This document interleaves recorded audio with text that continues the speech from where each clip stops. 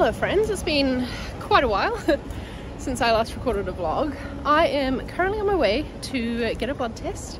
I went to the doctor a few months ago and found out that I have um, a deficiency in a couple of B vitamins. So yeah, been taking the supplements that my doctor prescribed me and hopefully this test today will show that things are back to a better level. I don't know though, um, I'm not feeling super hopeful because I feel like I'm still like have all the symptoms of the deficiency, but hey, who knows. Here we are on a cool bridge. I'd be a great tour guide, huh?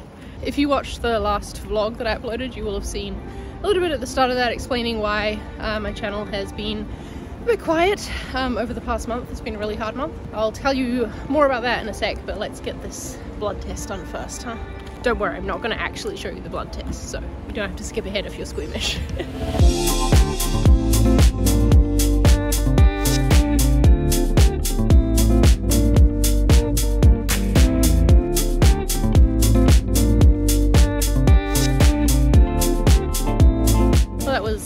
quick and easy now on my way home to eat something. The nurse remembered me from last time too, which is pretty impressive, honestly, because she must have seen hundreds of people in between the last time I had uh, like a blood sample taken and now. Yeah, I honestly wonder if like the um, the stress and everything of the past month will impact the progress that I've been making in improving these vitamin levels. So like you would have seen in the last vlog, unfortunately, my beloved cat Nora passed away. Well, to back up a bit, I guess, she's been kind of she's been ill for a while. She's had a chronic Ill illness um, ever since we got her. That really like kicked in in February of this year. She got quite sick and we managed to nurse her back to health. And then I had to give her daily medicine um, ever since then which you might have seen as part of my daily routine video if you watched that. But yeah sadly that illness like caught up with her basically. It's um, feline leukemia virus and it can manifest itself in cats in various different ways and one of them is through a lymphoma. One night I noticed she was breathing strangely and like breathing faster than usual and I thought okay we'll see if she's still doing this in the morning I'm definitely going to take her to the vet.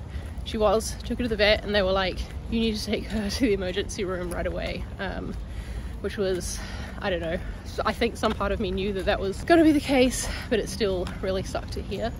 Um, yeah, at the emergency room they found fluid in her lungs and they kept her for observation and then rung us and let us know that they had also found a lymphoma and that to give her a chance we would need to start chemo um, basically right then and there. We talked to the vet oncologist about it and decided that we did want to give it a try that um, you know a lot of cats can respond really well to chemo um, and it doesn't like impact them as much as it doesn't humans so we tried it um, and the tumor responded well like the tumor started to shrink but Nora did not respond well at all. She like yeah I think the trauma of the treatment being in hospital and like all the drugs passing through such a tiny little body that she had. She stopped eating she got very sick very weak and to continue with chemo we would have had to put like a tube in her neck to feed her and just didn't want to do that to her you know that wouldn't have been a fun life for her she wouldn't have been able to like do a little head turny thing that she liked to do.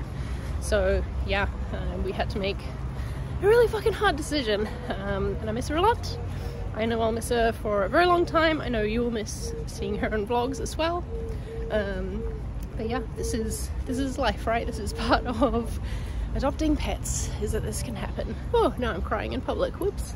So yeah um, over the past month I was you know dealing with daily vet visits, um, feeding schedules, stress about all of this, and it's been yeah, really, really difficult. And then, of course, there's the grief and the sadness that, that comes after it. So, it has not been the most productive month of work, I'll say that. Um, luckily, ConvertKit is very understanding and, like, yeah, just um, really nice place to work when you're going through something like this because yeah, the team really understands. I was able to take mental health time off, you know, when I needed to, so that was nice. But I feel like I'm finally like getting able to put my head back in the in the game of the the work that needs to be done now. Um, yeah, over the past month, I really lent into focusing on just small little tasks, like little bits of design work here and there, because my head was absolutely not in the place for any sort of big strategy stuff, big annual planning, that sort of thing. But it is October now and uh, it is the time for annual planning. So I'm kind of glad that I'm now like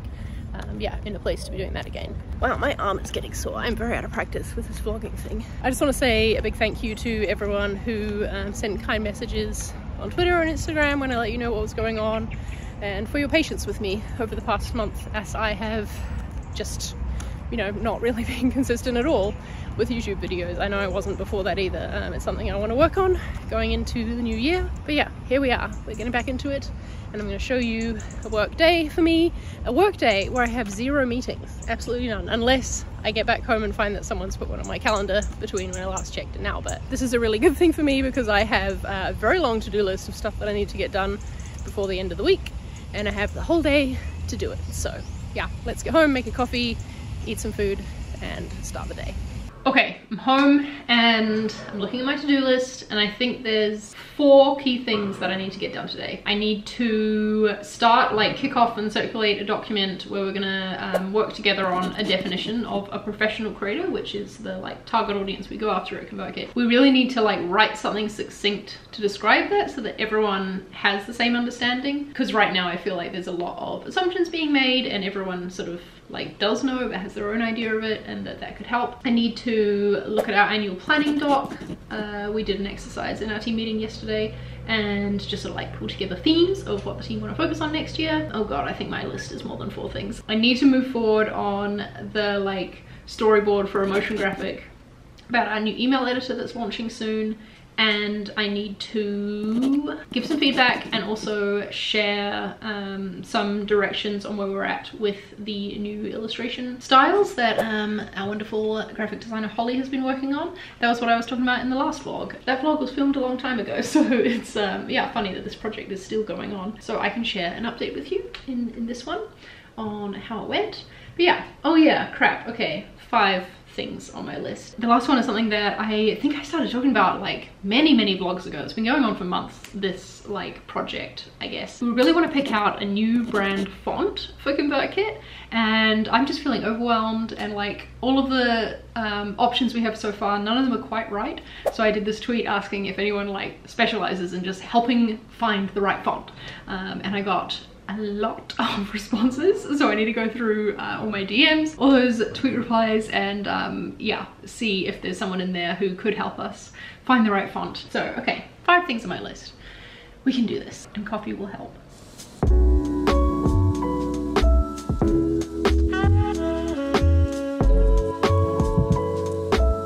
For anyone wondering Mr. Seb here has been doing just fine.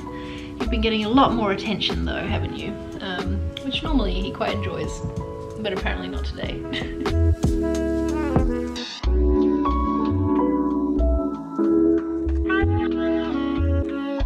Got one thing checked off my list. I wrote up and shared that document, working document, in all the places that it needed to be shared, so that's good. Got some momentum going, but I'm gonna break for lunch now and like ruin all that momentum, I guess, um, and we'll do the rest for the afternoon.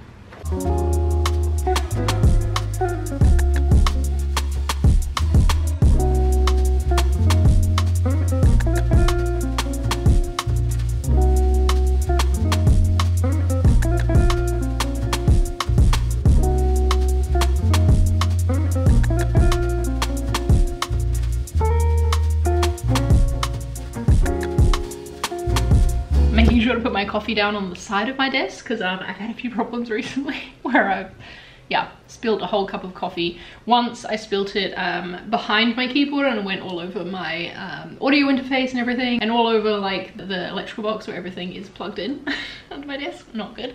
And then um, earlier this week, um, as you can see over here, my uh, mechanical keyboard is in pieces because I spilled coffee all over that. So I had to take all the keys off to clean underneath them. I've cleaned the board, but it's still like um, behind some of the keys. Yeah, see, they, they need some cleaning because I like, as soon as I spilled the coffee, I turned it upside down to make sure it didn't go into the into the electricals itself. In other news, um, what these keys are sitting on top of is some new art that I've got for my walls. I'm planning on extending this gallery wall, which goes all the way around um, over onto this wall too, um, and then potentially over onto this corner over here, just like why not fill up the whole office, you know? There's there's only a little bit of wall to go. So yeah, these are a few that I have to go up there, and I particularly love this one. synthesizers. I have no idea what this says. Um, so if anyone speaks, I believe this is Japanese, at least some form of Japanese kanji, let me know what it says. All right, I think we require, where's my headphones? There they are. Um, headphones for task number two. I'm gonna play some music and uh, I'm gonna get into that annual planning um, which we've done in a FigJam. Let me show you it from a high, like a zoomed out view. So everyone on the team added what outcomes they want to drive, work towards driving with our brand in 2023. We also noted what data needs would have to help us like achieve those outcomes. And now I'm going to come down here, like distill these outcomes so that everyone can start putting in potential projects that could help lead to those outcomes that we want to achieve. This is the first time we've done annual planning this way and um, it seems to be going well so far. It's definitely too early to tell, but it did lead to a great conversation in our meeting this Thursday. And um, I just want to zoom in on this one quote I wrote down. from Henry on my team. I'm sure he won't mind me sharing this. Nothing is impossible if you have enough clout. I love it. Maybe that's not so funny out of context, but yeah, I just really liked that he said that.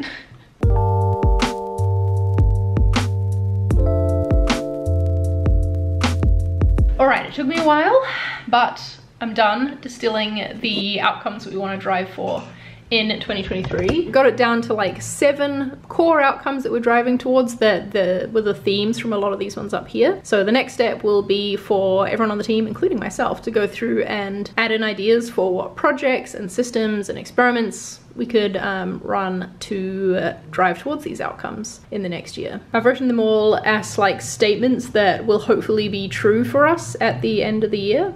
Um, so yeah, I get so much joy, like an unreasonable amount of joy in setting up a good FigJam and just like working in FigJam in general. I tell you what, if Figma didn't already sponsor this channel, then I would be reaching out and saying they should because uh, yeah, this, this tool is epic. I probably use FigJam more now than I use you know, actual Figma design now that I'm in management and um, it is fantastic. I love it. All right, it is now also quarter to four, so um, the day is getting away from me a little, but at least I now have one more thing done. Um, what am I going to tackle next? Let me look at my list. I think I needed to get onto the motion graphic one because I could easily see it being the one that I like leave till last and then run out of time for. And it's one that there's actually a deadline on. So um, yeah, we'll do that next.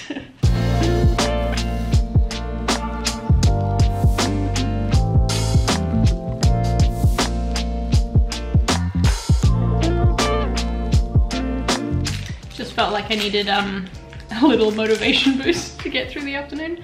I'm really struggling for focus. It's 20 past five now, still working on this um, animation thing.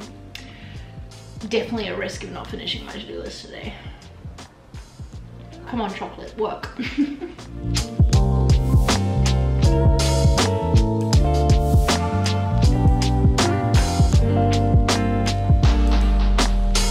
Okay, that took way longer than I would have hoped, but I've just wrapped up um, documenting my thoughts on that animation. And now I honestly think the only other task for my to-do list I'm gonna get done today is uh, moving forward with the illustration stuff and giving some feedback. So when Holly starts her day on Monday, she can um, get onto that. Whew. I've also had a, a last minute addition to my to-do list, which is that I need to replace um, some of our subscriptions with a new credit card. So just a fun little admin task to end the week, you know? Okay, let's get into this. It's 6.30 and although I don't have meetings today, at 7 o'clock there is a call, like a goodbye last hangout call for one of my workmates who's leaving, which I want to join. Uh, so I don't know, what do you think? Can I get both the illustration feedback and the like admin task done in the next half hour so that I can fully sign off after that? Make your bets down below in the comments right now, even though you're only gonna have to wait like 30 seconds probably to see if you're correct or not. But still, take your guesses now, people. Oh wait. No, I won't wait. I've got to get this thing done. I'm getting into it.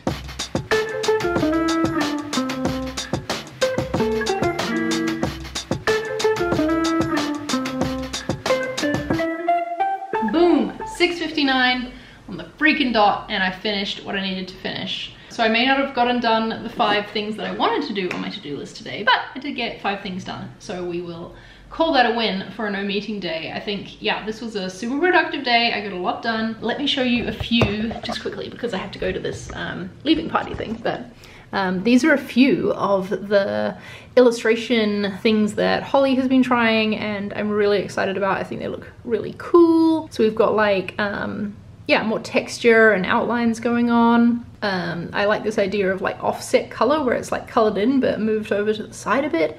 And there's all these different styles of accents we can do around something because um, naturally the tendency is to put like, where is it here? Like a spark, right? Is the easiest one you can think to do. Um, and I was like, what else could we do? And Holly was like, boom, boom, boom, boom, boom.